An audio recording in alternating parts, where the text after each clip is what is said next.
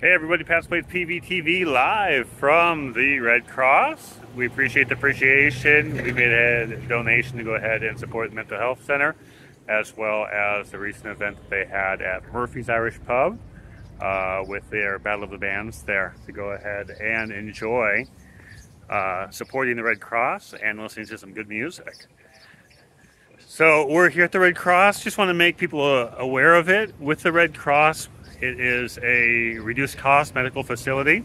And so we'll go ahead and put up right here some of the costs of what it costs to have what done. And you can see very, very affordable. These are the cost of the procedures, and it just says that the cost of materials is separate. Uh, this is located uh, heading towards the big tunnel coming up the hill right before the gas station. I can just look it up Red Cross, I think it's all set. So it's one thing to go ahead and know that if you are not feeling well, besides the option of the dock in a box. Uh, if something is a little bit more severe, a fracture, something else is going on, you can come here to the Red Cross and they have excellent medical care.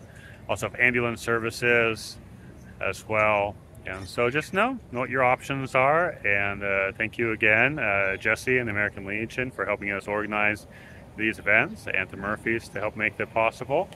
Thanks for watching Pat's Plates PV TV.